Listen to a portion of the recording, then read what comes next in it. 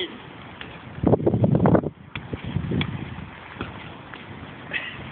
Shame we didn't get it, Tom. You didn't? Not really.